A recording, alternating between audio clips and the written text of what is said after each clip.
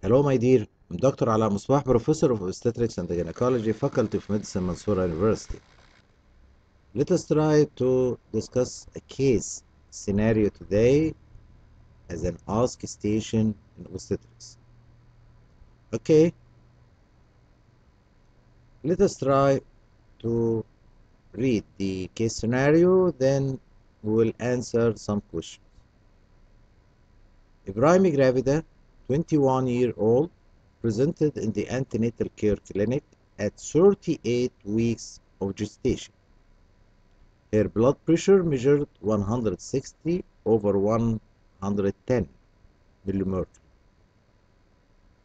Obstetric examination revealed single fetus cephalic presentation, uterus 32 weeks size. On, uh, auscultation, fetal heart sound is 140 beats per minute. Urine analysis revealed 2 plus proteinuria. This is the case scenario. Then we are going to answer some question related to this case scenario. What is the obstetric diagnosis in such case? Full obstetric diagnosis in such case. How do you diagnose IUGR clinically? How do you confirm the presence of IUGR? What is the treatment of such a case? Okay, let us start with the first question What is the obstetric diagnosis in such case? You can pick it up from the case scenario. I can say this is a primary gravida, pregnant 38 weeks, longitudinal lie cephalic presentation. Okay. With single tone fetus.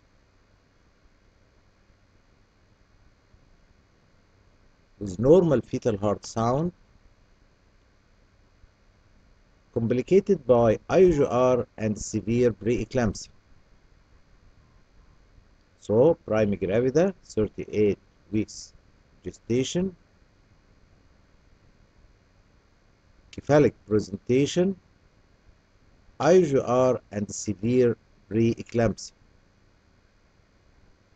Why I said IUGR and severe preeclampsia? Because the gestational age is 38 weeks, while on examination uterus was only 32 weeks size. So this is small for gestational age for differential diagnosis, and one of them is IUGR.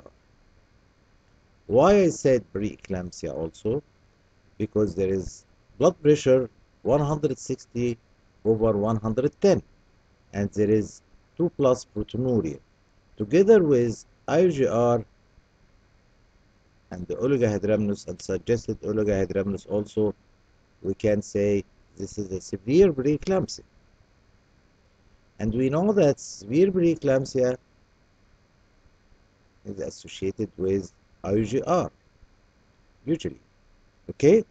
So, that's why I said this full obstetric diagnosis. Primary gravida, 38 weeks, cephalic presentation, IUGR, severe preeclampsia. Okay? This is as regard the first part of our quiz today. The second question is how do you diagnose IUGR clinically? I can diagnose IUGR clinically by measuring the symphysis fundal height. If it if it is lower than the gestational age, we call it small for gestational age, and one of them is IUGR. Symphysis fundal height by measuring tab starting from symphysis pubis up to the top of the fundus, the upper part of the fundus, equal in centimeter to that of gestational age.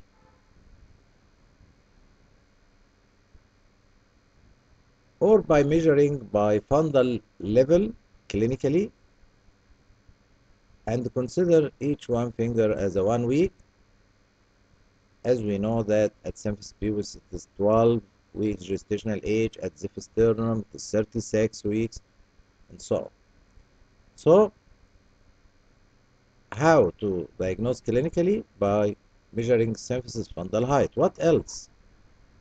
Decrease the amount of liquor the volume of liquor is reduced. When you examine the lady abdominally you find the amniotic fluid is reduced. The liquor volume is reduced. Also fetal mass is reduced. What else? Abdominal girth may be decreased or the same. The whole abdominal girth is reduced usually. Okay? What else clinically? No increase in body weight during pregnancy in the previous few visits. When the, the lady measure her body weight there is no increase okay? This is another sign of IUGR so clinically as I said I know the gestational age from last normal menstruation and from the antenatal record. Then I examined the abdomen. I did symphysis fundal height measurement. I found discrepancy 38 weeks by last menstrual period while 32 weeks clinically by symphysis fundal height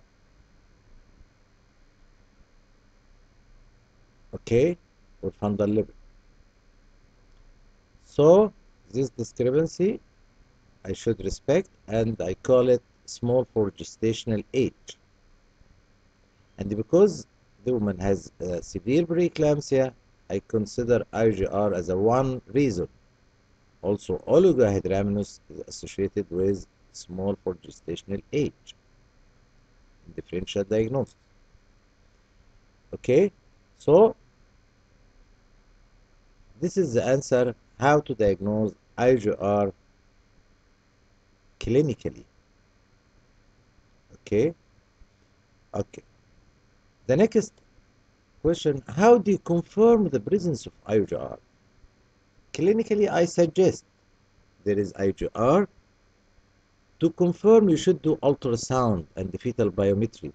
By measuring the biparietal diameter head circumference femur length abdominal circumference and also measure the ratio of head circumference and abdominal circumference.